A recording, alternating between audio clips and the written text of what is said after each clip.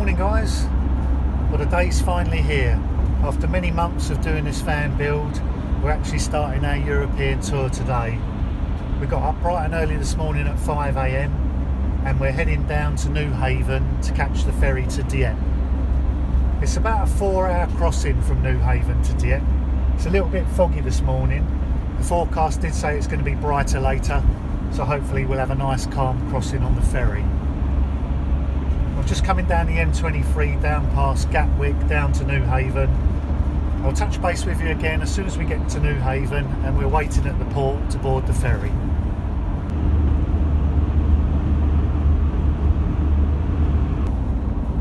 So we're not even a couple of hours into the trip guys and uh, we were making good time so we pulled over to grab a cup of coffee and coming out of the services one of the lights on the dash has stayed on now, it's saying ESP. Now, either my van's just gained the ability to read people's minds, or we've got a problem.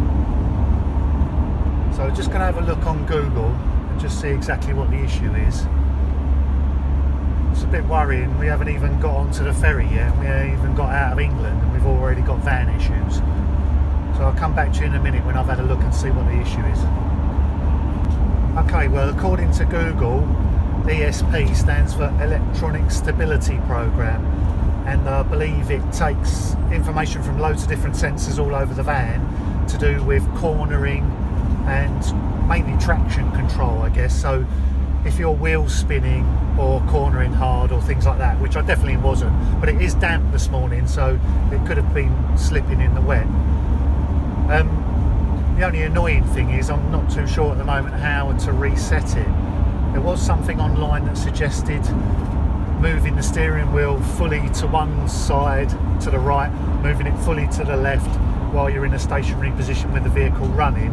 So we might try that while we're waiting to board the ferry, see what that does. I'm reluctant to cancel the ferry crossing because you know we've been building up to this. I'm still going to go over to France even though we've got this issue and then if I can't reset it then we'll just have to try and find a local Mercedes dealers as soon as we get in France and see if they can have a look at it for us. But, stay tuned guys and we'll give you an update in a minute. We've had a bit of a stressful week leading up to this departure. During the final testing of all the services in the van and that our toilet decided to spring a leak. So we had water everywhere in the van. I did video that whole scenario because it turned out to be quite a bit of a mission to get that repaired. I mean, we had about four attempts to get a, a suitable fitting that would stop that leaking. So I'm going to cover that in a separate video because there's a couple of issues with that cassette toilet that I wasn't really happy about. We also had a couple of issues with our solar charge controller. We had the wrong controller, it wasn't compatible with our remote and we ended up driving all the way down to Orpington in Kent to pick up another one at short notice because they wouldn't deliver one next day. So all in all, we've had a few little troubles and it's been a bit stressful. So the last thing we could do with at the moment is van issues. You know, we're all excited, everything was all sorted. Set off this morning thinking happy days, and now it looks like we've got an issue. We're only a couple of hours into the trip. Anyway, onwards and upwards. We'll give you an update in a bit once we find out a little bit more. I just turned the van off and then restarted it and that seems to have reset the ESP light. So I wonder whether when I pulled away from the services it might have just lost a little bit of traction on this wet road and it probably just brought on that traction control. So we'll keep an eye on that and just hopefully that's gone away. Right well obviously stopping the van turning it off and turning it on again has actually reset that ESP light. It's gone out now so maybe that just was perhaps we lost a little bit of traction when we was pulling away from the services because it is quite wet on the roads this morning and maybe that was just enough to kick in that traction control. So hopefully, fingers crossed, that's not going to reappear. But we have done a bit of research and there is a Mercedes-Benz dealership in Dieppe which is open till 7 o'clock today. So we'll keep an eye on it today if it does become an issue then maybe we will get it checked out but I've never seen that come up before but if anybody does know any more about that then please do leave a comment below and let me know whether that's something that just comes on as a warning or, or whether there's an issue there that we need to get looked at. We're now sitting in the queue waiting to get on the ferry. We're a bit early. We got down here nice and early because we, you know, the M25 is notoriously bad and rush hour on a Friday morning. So we've got plenty of time. It doesn't actually leave for probably well over an hour. So we're going to sit here and uh, with the rest of the guys waiting to get on board.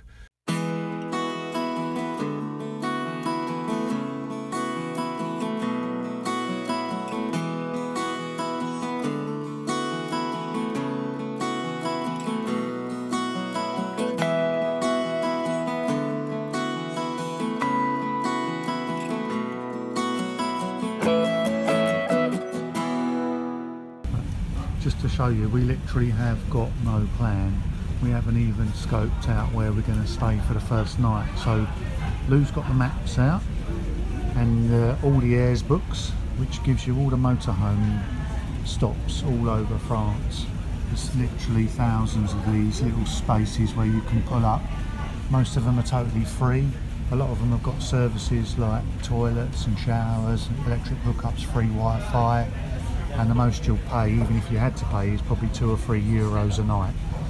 So we're going to head down, hopefully towards Le Mans, find a little camping spot that we can stop there. We only want to do maybe a couple of hours and find somewhere to park before it gets dark, just for the first night, sort ourselves out, and then we can make some more plans for tomorrow.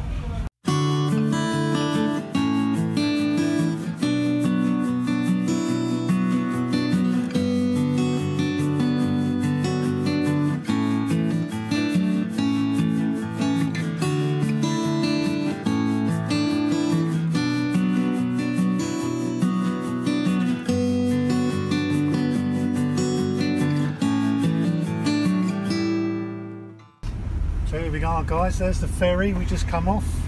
Just driving into the centre of Dieppe. There's a load of vans down by the beach. We need to pull up somewhere, get our bearings before we head off. Get used to this driving on the wrong side of the road lark. Right, what we'll do is we'll get the old sat nav into gear so we know where we're heading. We've got a bit of a plan. But we're here in France. Happy days.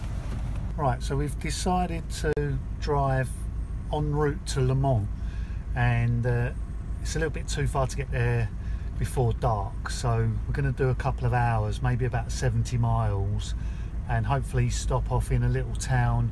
It's spelt Rugles but I imagine with the French it's pronounced Ruglay. And there's a little motorhome camp there we can pull up for the night. Um, the write-up on it was pretty good. It had some good reviews. So hopefully we can get a space there get there before dark and then we can do the rest of the journey tomorrow. Anyway let's get on the road. I'm driving on the wrong side of the road babe. I know. It feels really weird. it does feel weird to start with. I know we've driven on the other side of the road when we've hired cars in Spain and that and it, it does take a little bit of getting used to. I think the roundabouts are more tricky than anything else but I think once you've got your head round it, first couple of days it'll feel weird, but then it'll become sort of second nature. Nice bit of sunshine though.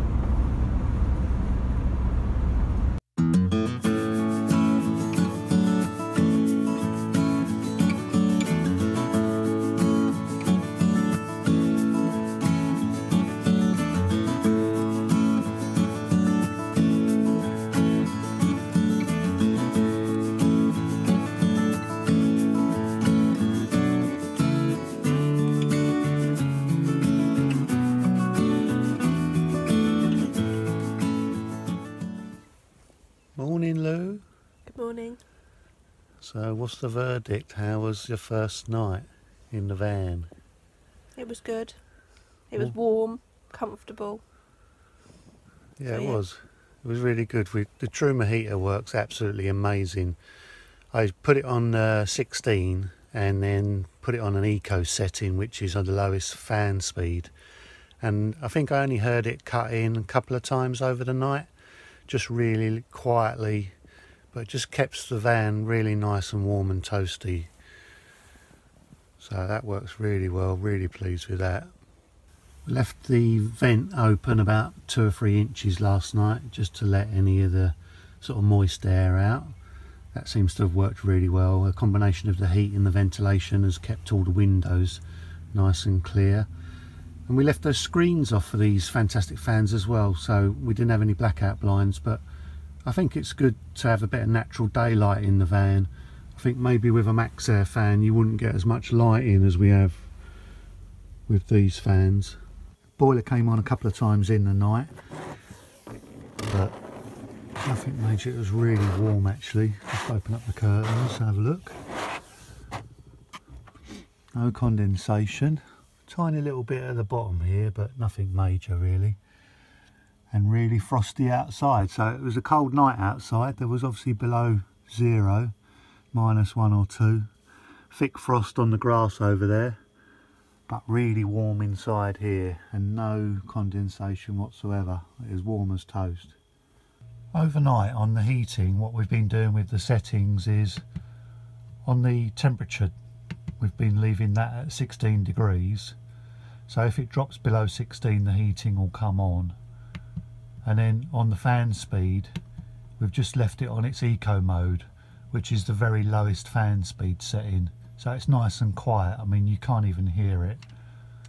Unless the fan comes on on a boost setting uh, it's the only time I've ever heard it. Other than that it just comes on overnight and it doesn't wake us up or anything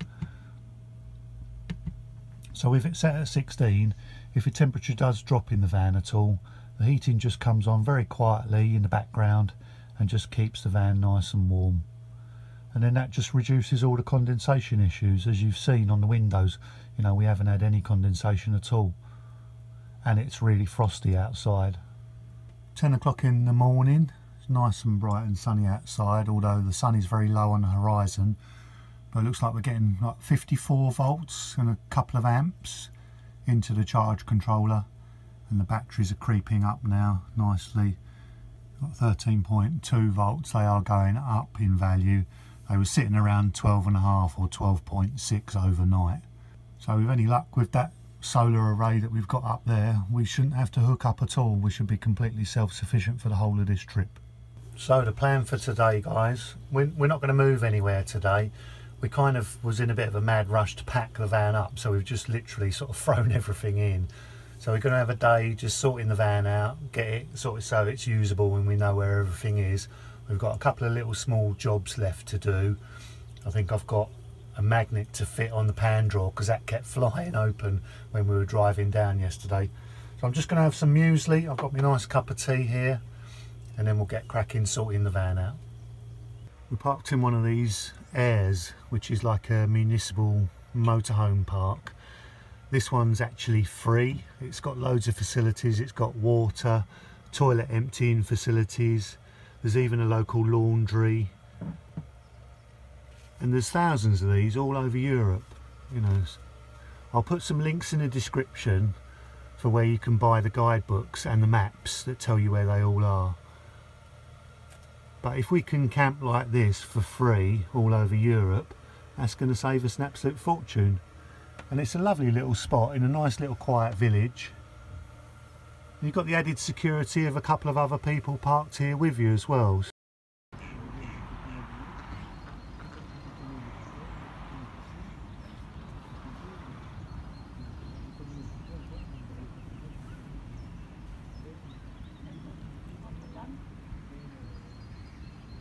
We just walked across to the adjacent car park and there's another one of these service points.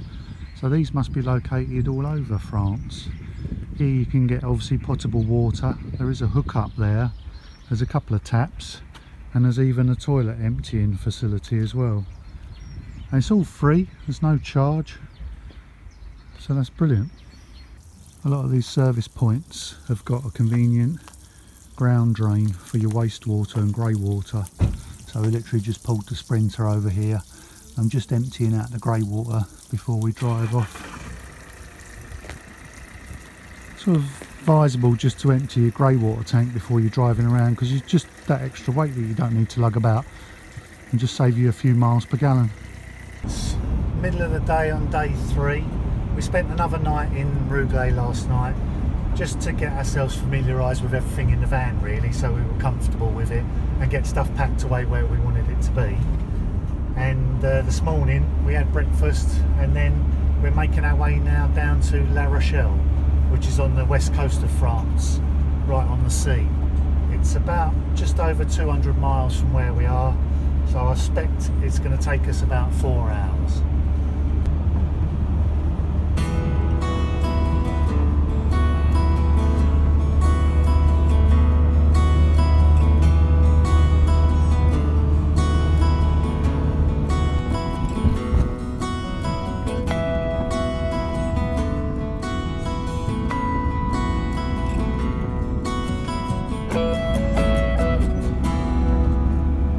parked about half an hour outside La Rochelle because the original parking spot that we was going to go to just looked like an empty car park to be honest. So we're in this nice little country park.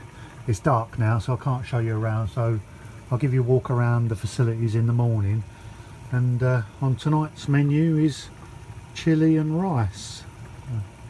Get stuck into that and stick the heating on and enjoy the evening. So there we go, lovely chili con carne, cooked by yours truly. And I just got to give a toast to Mike, who was our postman, because he's brought endless parcels to our door for this van conversion. And he very kindly gave us this bottle of wine as a leaving present. So this one's to you, Mike. Thanks very much, mate. Cheers. I'm going to enjoy this. Good morning, guys. This is the view from our window this morning. We're parked in this really nice little picturesque country park spot. It's very remote, it's right out in the middle of a load of fields and we're struggling to get phone network signal, that's how far out we are, but a pretty little place to park up for the night. There are services here. I think you can see where that van's moving around in the background there. There's water and waste facilities. I think because it's early in the season it is still really quiet over here. There's not many vans out. You can see there's one van over there and I think there's a couple on the other side of us. A really pretty little place to park up. I'll be putting some details in the description of where these places are that we've stayed if you want to stay here as well.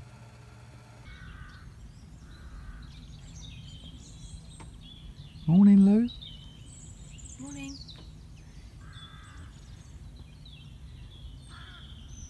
She's a good girl down here washing up there. I can hear you, you know.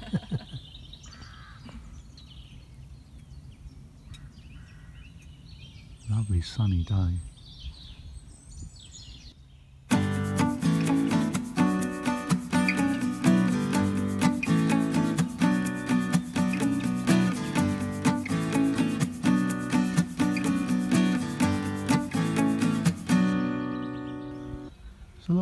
Little walks around these lakes. And then they've also got catering for fishing by looks of it as well. There is a little fishing hut back there where I guess you can get a day licence if you're into fishing. Beautiful little spot though.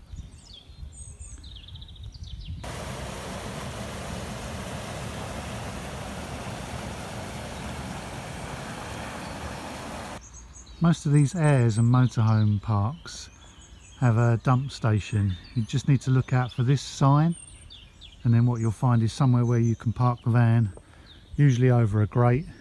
And then here is a cassette toilet emptying station. It's got water and a drain there. So we're going to take advantage of this. Open the grey water tank let out any waste that we've had overnight. So that'll just go into the floor gully that's down there. And we'll also clean the cassette toilet out as well at the same time. Right, I know a few of you are a bit dubious about having a toilet in your van, but I can't tell you, we've only had this van in use for a couple of days, how useful that has been just to be able to go to the toilet when you need to. And if you're concerned about emptying a black water tank on a cassette toilet, I'll show you how easy it is.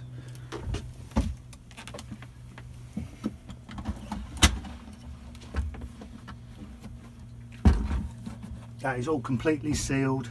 There's no way anything's going to come out of that. I'll take it down to the waste disposal and we'll show you how easy it is to do. So here is our cassette. You just need to swivel the spout around. Undo that.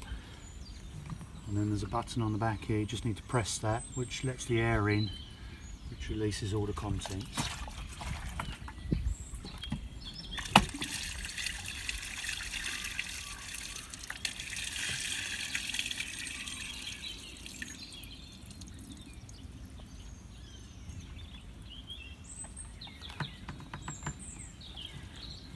I'll just put a little bit of water in there.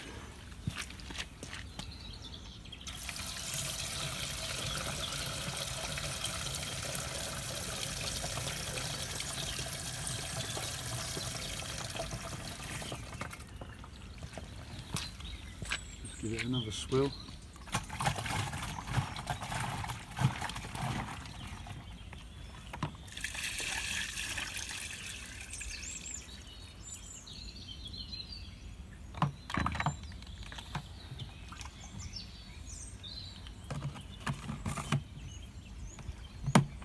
And that's it. Easy as that. And then on this flush there is a flush to flush that.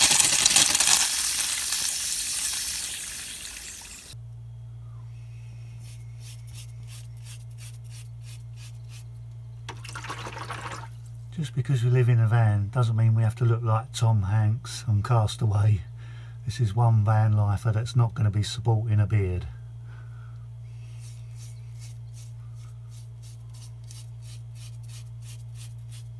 guys, right, we've sorted out all the van, had a cup of tea, tidied up everything, emptied all the grey water and the cassette toilet tanks, we're all ready to go. We're only about 20 minutes outside La Rochelle, so what we want to do today is go down and see if we can get near the coast, somewhere down where the beach is, and uh, enjoy some of the uh, sights and the sunshine. Made it down to the beach, tide is right out though looks very shallow. I reckon you could probably wade out quite a way before you got out of your depth. Lovely bit of beach as well. Huge, great big stretch of beach.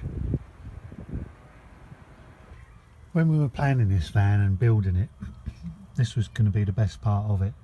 Was being able to sit on this little bench seat here, right next to the beach. Have a lovely bit of lunch, chill out, relax, and just watch the world go by.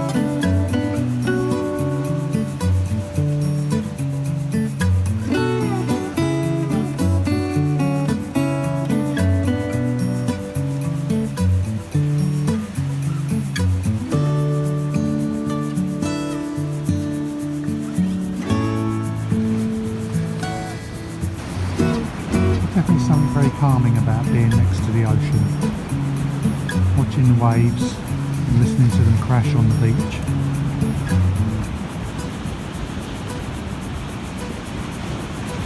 Definitely feel much less stressed in this environment.